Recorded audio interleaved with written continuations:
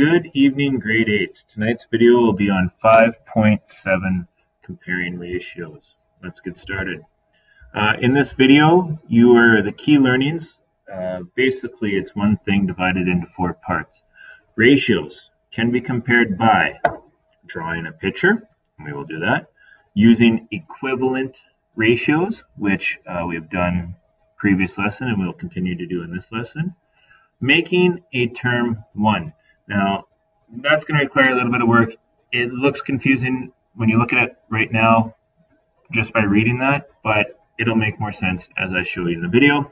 And number four, using percents. We're going to take ratios and turn them into percents and uh, compare those numbers. All right. So let's get started here.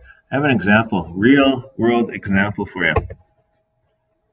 Iced tea, one of my favorite drinks. Um, A and B here, you have two examples. And uh, the question is, the problem is which iced tea is sweeter? So in example A here, um, they took for two glasses of water, they mixed in four tablespoons of iced tea powder. And in uh, example B here, they had three glasses of water, and in this case, they mixed in one, two, three, four, five, six, seven, eight, nine tablespoons of um, nine tablespoons of uh, iced tea mix. So the question is, which one would be stronger? Now, if you've never made iced tea before, um, basically what happens is you take a glass of water and you start scooping in uh, pretty much pure sugar into a glass of water. The more sugar you add, the sweeter the iced tea. So um, we're going to use this problem and try and uh, work through it uh, the video using this problem. So the first uh, key learning we said is we are going to draw a picture. So drawing a picture. Um, basically, I'm going to go back here. Instead of redrawing all this stuff, I'm going to start sorting. So when you draw a picture, we're going to take our two glasses of water here, and I'm going to start grabbing, if I can, not sure if this will work for me now. Oh, yeah, I'm going to start reorganizing my tablespoons of iced tea powder. So in this example A, you can see for every glass of water, there is exactly two tablespoons of um, iced tea mix. So let's go over here and start reorganizing. I can reorganize these tablespoons. Um, hmm, second one there. Move this one over here. Here, and as you can see, over here. Now I've drawn out this picture.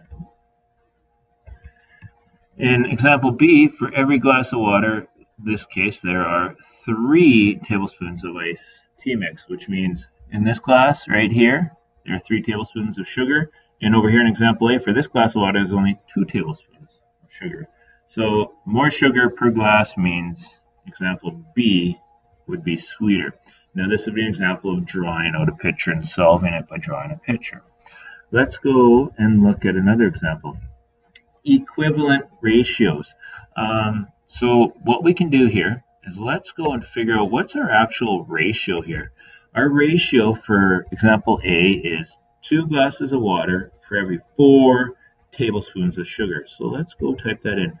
Over here, we could say the ratio here is two glasses, whoops, two glasses of water uh, for every four tablespoons right?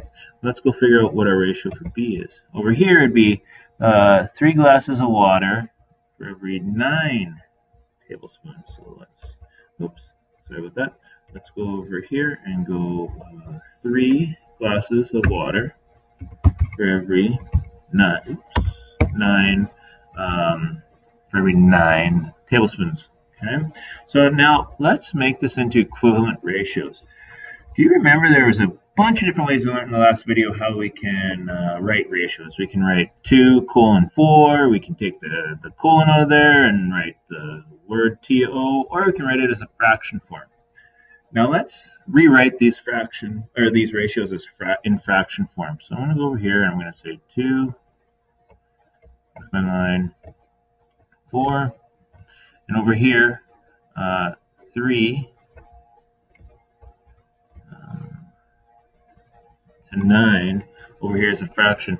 Now, for equivalent ratios, what we want to do to compare this is we want to see if we can change, just like equivalent fractions, we want to change uh, the 4 and the 9 to the same number. In this case, the denominators. We want to get 4 and 9. So if I started counting by 4s over here, and I started counting by 9s over here, would I eventually land on the same number?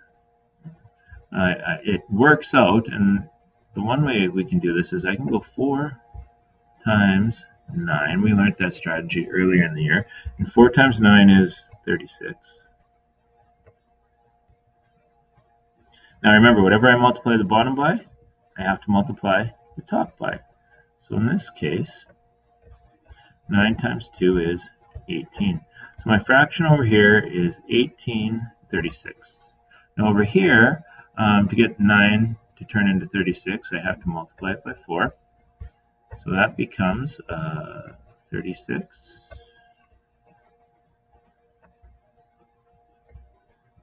And over here, if I multiply the bottom by 4, I have to multiply the top by 4. And that becomes 12. Okay, so now my new fractions are 18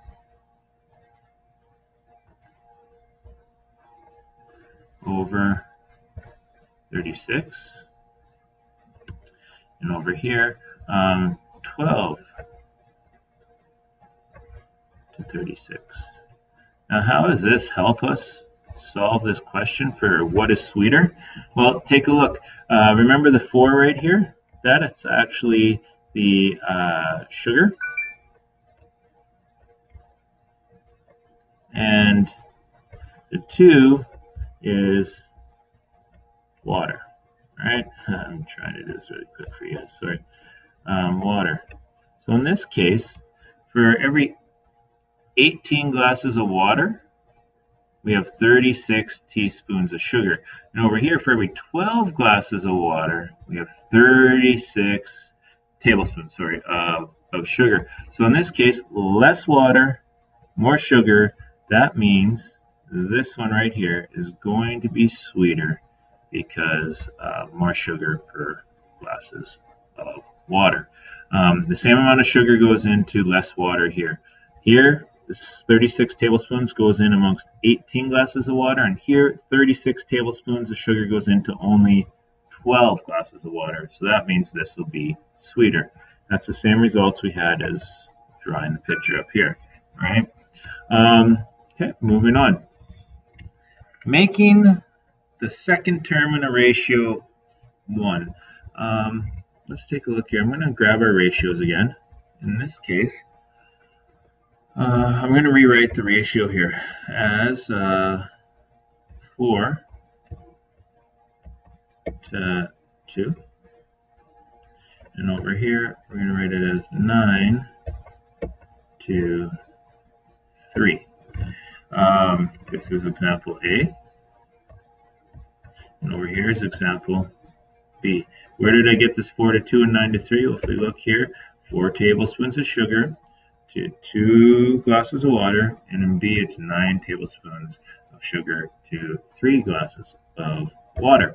So there's my two ratios. Now, what we're going to do is we are going to change the second term in a ratio to 1.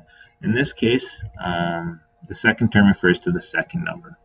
So how in the world can we change the number 2 to 1? Well, you know what we can do? We can divide 2 by itself. And my new number I'm going to write down here is 1. But if I do that to the right side of a ratio, I must do it to the left side. And in this case, uh, 4 divided by 2 is 2.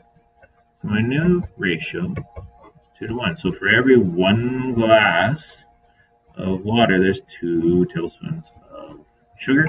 I see my time's running out here. I'm just going to do this really quick here, and then we'll have to make it a two-part. Uh, in this case, how do I change my 3 to get it to be a 1? Well, I just divide it by itself. And 3 divided by 3 is 1.